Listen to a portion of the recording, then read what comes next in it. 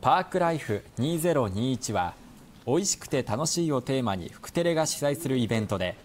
明日から福島市の東総合運動公園で開催されます。会場には市の内外からおよそ40店舗が出店し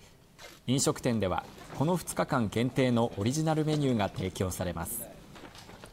感染症対策として現金でのやり取りを減らすためすべての店舗でキャッシュレス決済にも対応しています。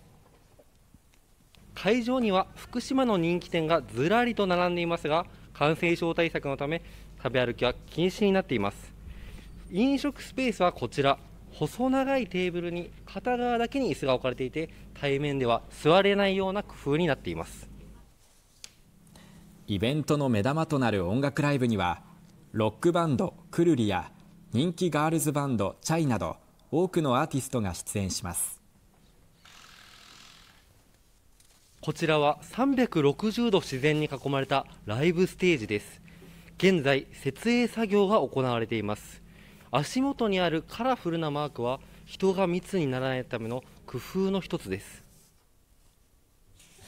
このイベントは福島県民が対象で会場は入場無料ですがライブ会場に入るにはホームページから事前の登録が必要です。来場の際は不織布マスクの着用など感染症対策をお願いします。